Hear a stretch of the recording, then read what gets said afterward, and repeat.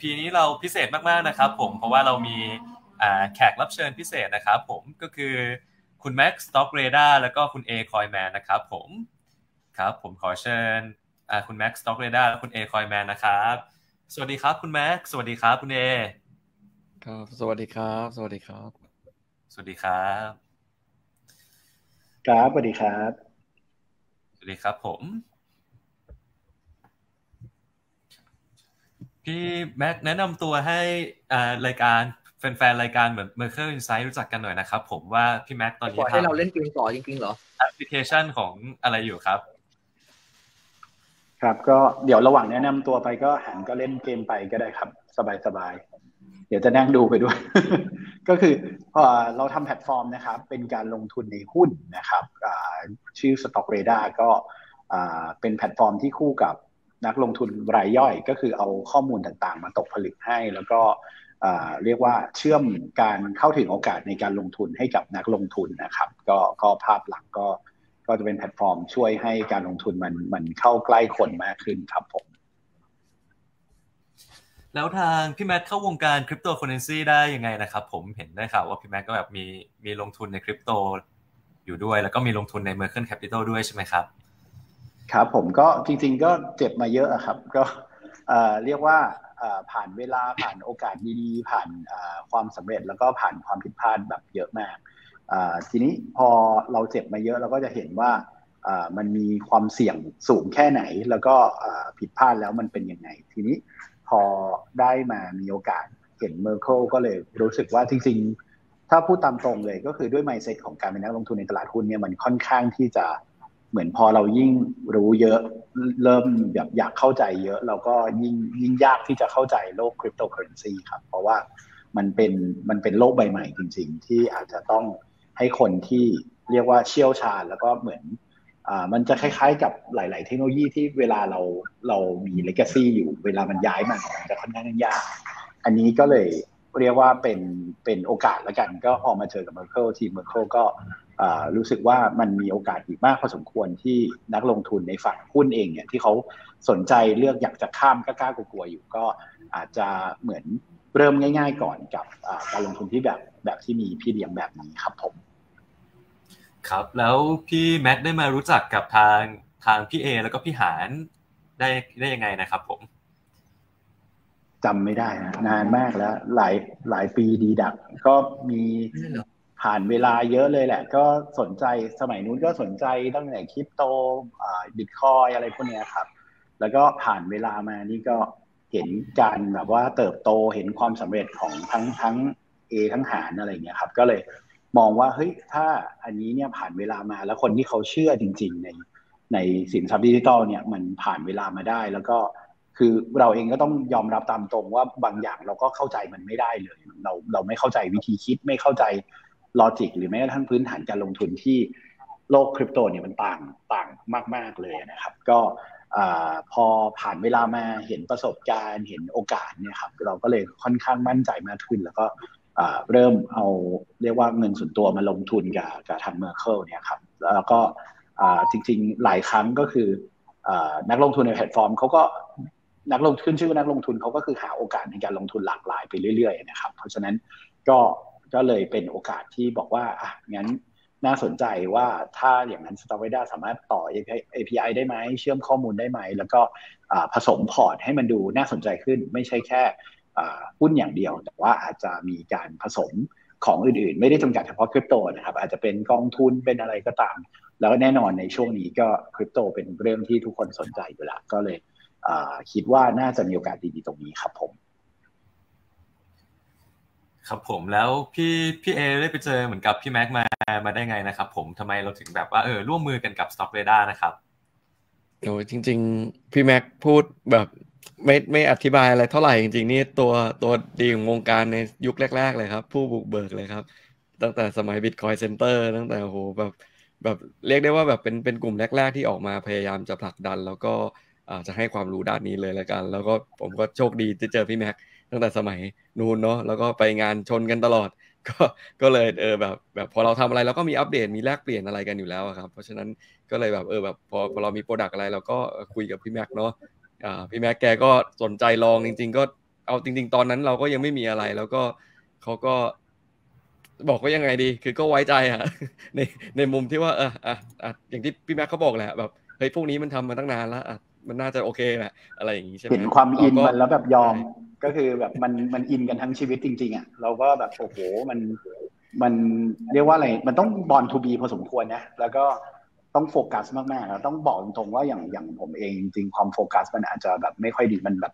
เหมือนพอพยายามเข้าใจตลาดหุ้นแล้วมาเข้าใจตลาดคริปโต แล้วมันแบบโอ้งงไปหมดอะไรเงี้ยคนที่ dedicate มากกว่า ก็อาจจะมีมีโอกาสมากกว่าในการที่มาบริหารจัดการตรงนี้อะไรเงี้ยครับอ่าเอโทษทีตัดแล้วอ๋อครับหลุดขอบคุณมากครับ ก็คือเอาเลยครับนั่นแหละก็คือได้ได้รับความไว้ใจมา แล้วเราเราก็เพิ่งทำ product ใหม่พอดีใช่ไหมครับ ก็คือได้พี่แม็กเนี่ยแหละเป็นลูกค้ารายแรก ๆ เลย ที่ที่มาทดลองอ่าสินค้าของของบริษัทใช่ไหมครับ แล้วก็แน่นอนว่าพอถึงจุดหนึ่งเนี่ยเอ้ยพอเราได้ลายเส้นได้อะไรเนี่ยพอใกล้ๆกับพี่แม็กเขาก็พร้อมคือเขามีของเขาอยู่แล้วเนาะ Stock Radar ใช่ไหมก็เลยมาคุยกันว่าเอ้ยมีมีทางไหนที่สามารถทำร่วมกันที่สามารถเชื่อมโลกตรงนี้ได้ไหม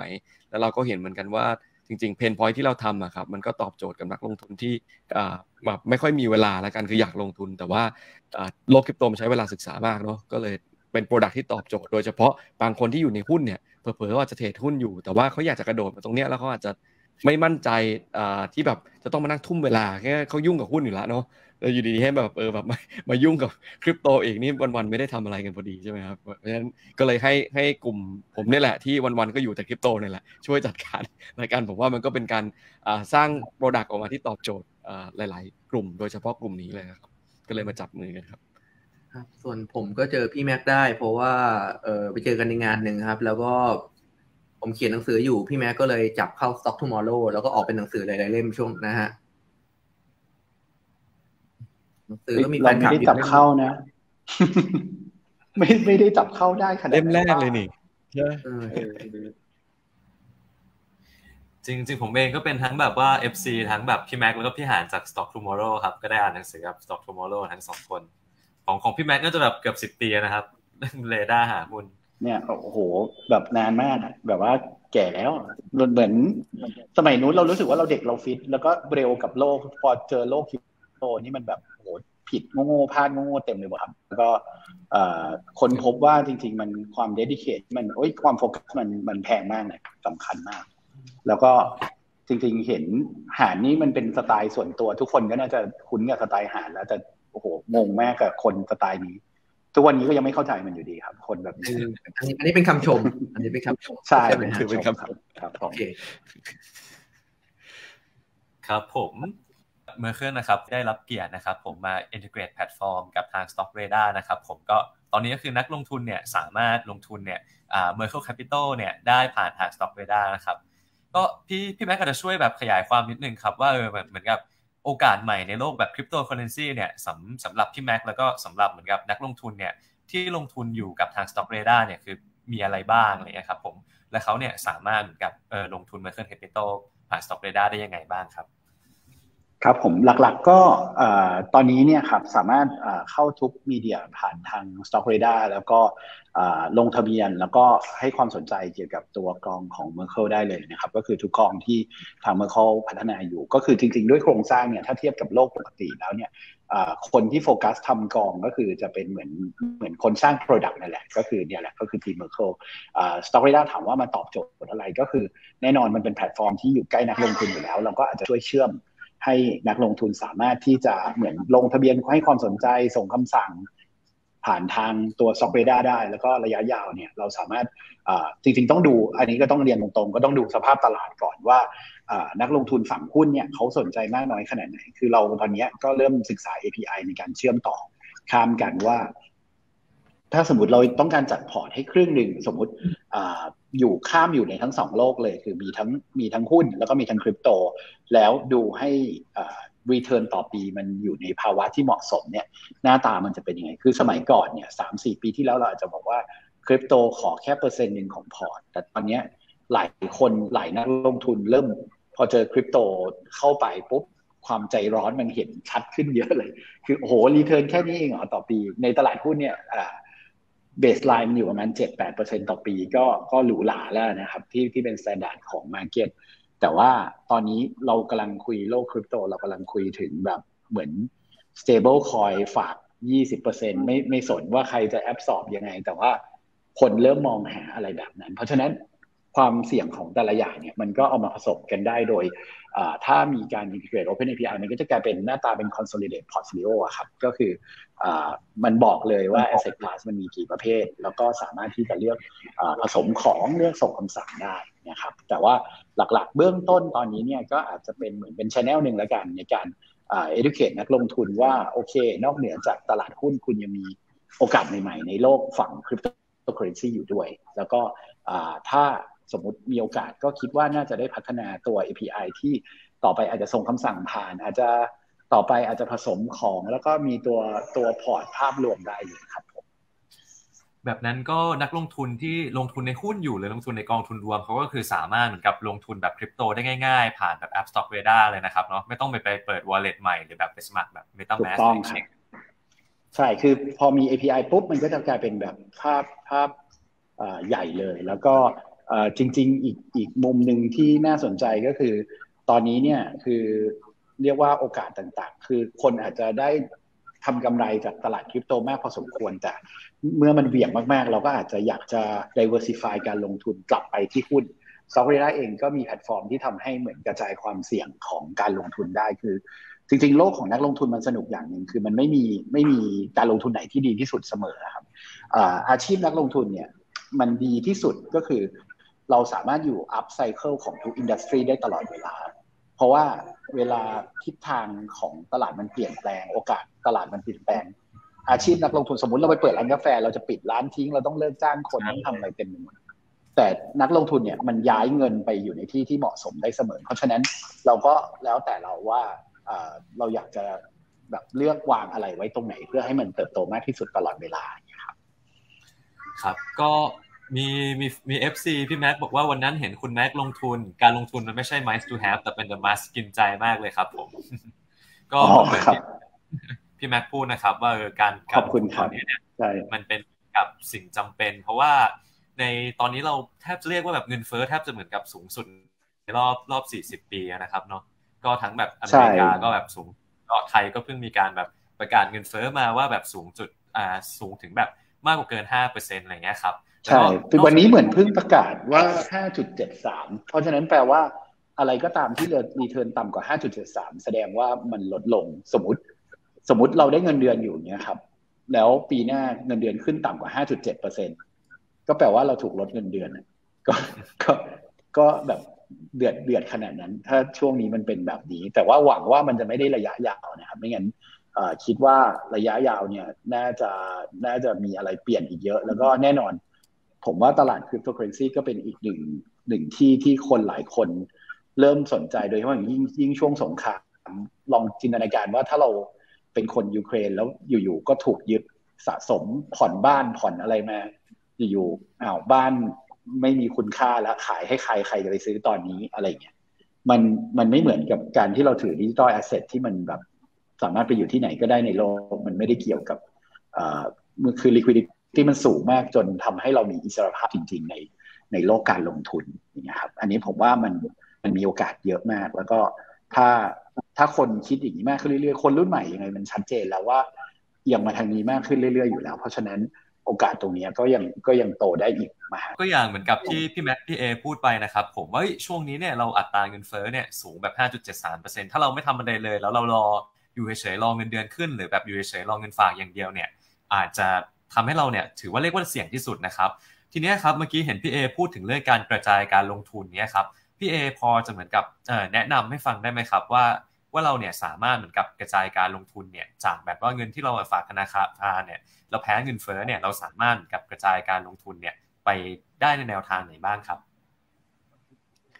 ผมอาจจะไม่ใช่ expert นะในในเรื่องของทรัพย์สินอื่นละกันอันนี้อย่างอย่างที่บอกคือว่าแต่ละ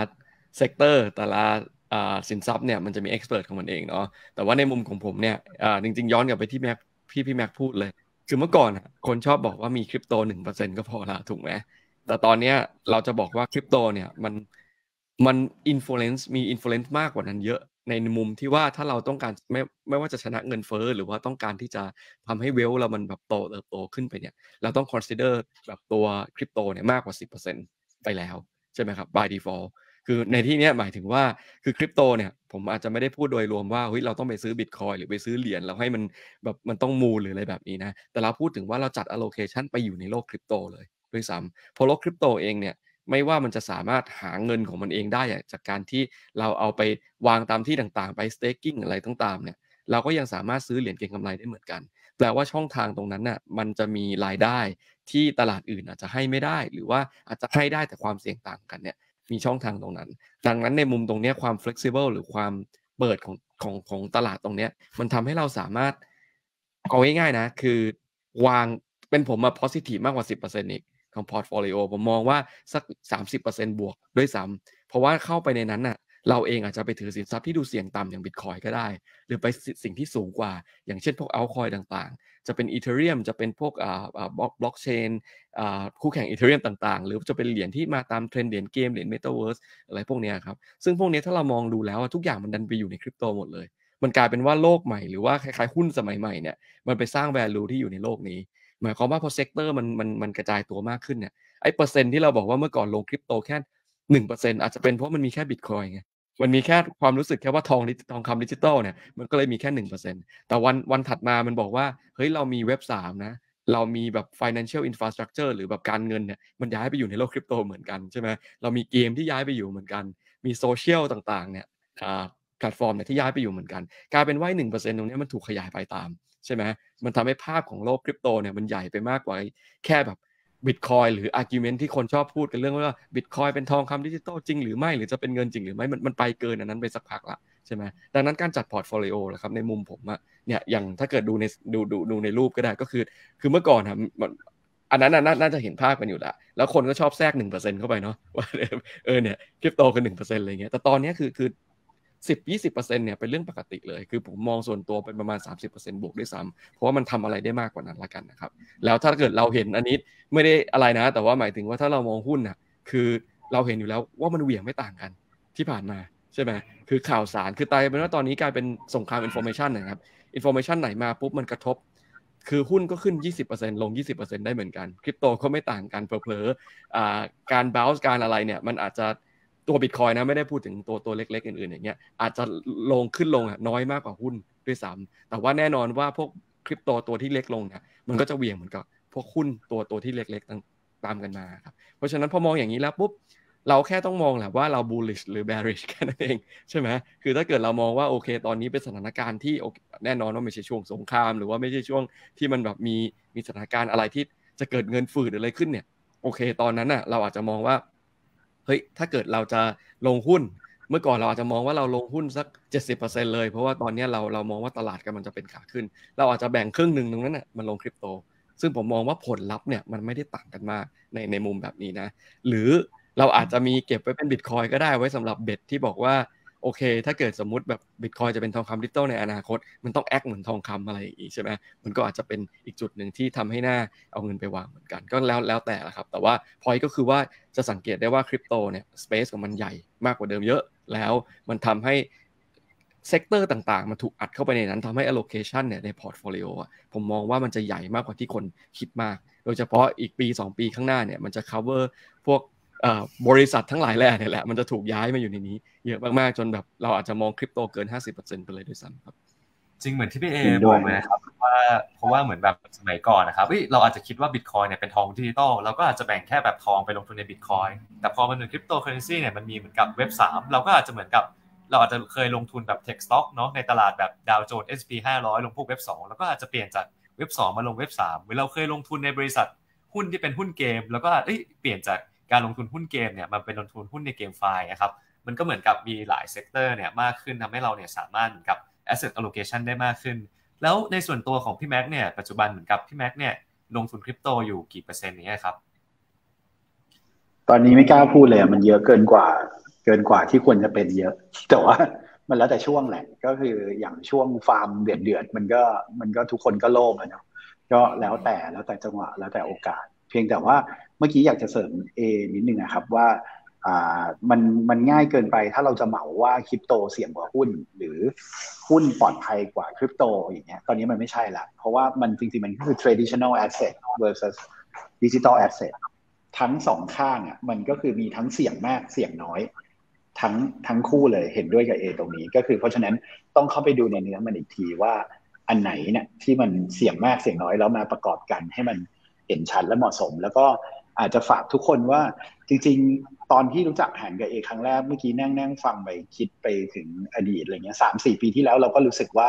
เราค่อนข้างมามาช้าไป เพราะว่ามันมีคนมาเร็วพอสมควร แต่พอผ่านเวลากลายเป็นว่านะตอนเนี้ย โหตอนนั้นมันเร็วมากเลยว่ะแล้วก็เชื่อว่าเดี๋ยวมันจะเกิดความรู้สึกแบบนี้อีกรอบหนึ่งอีกอีกเรื่อยๆก็คือ ถ้าเราไม่ได้เริ่มสักทีเราก็จะรู้สึกว่าเราเราช้าไปอยู่เสมอ เพราะฉะนั้นมันจริงๆ ถ้านับจำนวนประชากรในโลกที่ลงทุนในตลาดทุนแล้ว เทียบกับประชากรที่ลงทุนในตลาด digital asset เนี่ยยังไง digital asset จำนวนมันน้อยกว่า traditional asset มหาศาล เพราะฉะนั้นมันไม่มีคำว่าสายเกินไปในการเริ่มลงทุนอะไรใหม่ๆ ไม่ไม่ได้จำกัดเฉพาะคริปโตนะครับ แต่ว่าเหมือนถ้าถ้าเป็นอาชีพนักลงทุนอะมันก็คือต้องเปิดรับการเปลี่ยนแปลงตลอดเวลา ไม่ว่าอะไรมันจะเปลี่ยนไปทางไหน เราก็พยายามที่จะหา curve ใหม่ ๆ ในการที่เมื่อกี้ที่บอกไปว่าได้รับจริง ๆ คงไม่ใช่ความผลตอบแทนที่ดีที่สุดอะแต่ว่าเหมือนเหมาะสมที่สุดกับพอร์ตเราแล้วกัน ว่าทำยังไงให้มันบาลานซ์ให้ให้ดีที่สุดอยู่เสมอ แล้วก็เชื่อว่าตอนนี้หลายคนที่เป็นนักลงทุนรอบๆ ก็ถามว่าช้าไปไหมนานไปไหมอะไรเงี้ยก็ต้องตอบเหมือนเหมือนกับที่เมื่อกี้หานพูดว่าระยะสั้นมันมันไม่มีใครรู้หรอก เพราะว่ามันจะเป็นการเดาเป็นการดูดวงเป็นการอะไรเงี้ยฟันธงแทงหวยซะส่วนใหญ่ แต่ถ้าระยะที่มันยาวขึ้นเรื่อยๆภาพมันก็จะชัดขึ้นเรื่อยๆ เพราะฉะนั้นก็ต้องถามว่าเราเราพร้อมที่จะลงทุนระยะยาวมากขึ้นหรือเปล่า อันนี้ก็ก็น่าจะเป็นอะไรที่เปลี่ยนพอร์ตการลงทุนของทุกคนได้เยอะเลยครับคิดถึงตอนที่ผมนั่งกับพี่แม็กที่ Bitcoin Center นะตอนนั้นบิตคอยราคาประมาณสองแสนแล้วเราก็คิดประมาณว่าเอ้ยปลายปีมันจะถึงสามแสนไหมนะ สรุปกว่าจะถึงสามแสนจริงๆ มันคือสองปีถัดใช่ใช่ แบบโหมันมันเวลามันผ่านไปเร็วมากเลยนะแล้วก็รู้อะไรไม่สู้รู้งี้ตลอดไม่งั้นรู้งี้ก็คงแบบเหมือนแบบซื้อมากกว่านี้อะไรเงี้ยแต่ว่ามันเนี่ยแหละมันเกิดขึ้นแล้วมันดีเสมอก็ก็อยู่ที่ว่าเราทนได้มากน้อยแค่ไหน จริงครับ รู้อะไรไม่สู้รู้งี้จริงครับก็เอ้ยมีนักลงทุนแบบ Merkle Capital เนี่ยหลายคนเนี่ยบอกว่าเอ้ยแบบเสียดายอะไรเงี้ยครับเพราะเหมือนเดือนที่แล้วเนี่ยหลายๆคนรู้สึกว่าเนี่ยเป็นช่วงเหมือนกับตลาดหนีเนาะแล้วก็แบบว่าไม่ไม่กล้าที่จะลงทุนกัน แต่ทุกคนตอนนี้บอกว่ารู้งี้หมดเลย เพราะว่าในเหมือนกับเดือนที่ผ่านมาครับ ถึงแม้ว่าเออตลาดเนี่ยมันจะเป็นตลาดหนีแต่ว่าเออคริปโตเคอเรนซีเนี่ยหลาย ๆ ตัวที่เราเหมือนกับคัดเลือกเข้ามาครับ ผมก็มีการปรับตัวที่ดีก็จะเห็นว่าผลตอบแทนเนี่ยในเดือนที่ผ่านมาเนี่ยอย่าง M blockchain เนี่ยก็ไปถึง 29%แล้วก็ M l a cap เนี่ยถึง 26%ครับก็อันนี้เป็น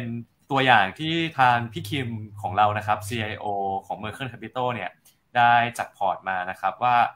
สำหรับเนี่ยนักลงทุนเนี่ยที่อยากจะเหมือนกับเริ่มลงทุนเนี่ยใน Merchant Capital เนี่ยพี่คิมก็แนะนำ asset allocation เนี่ยบิตคอยน์ไว้ที่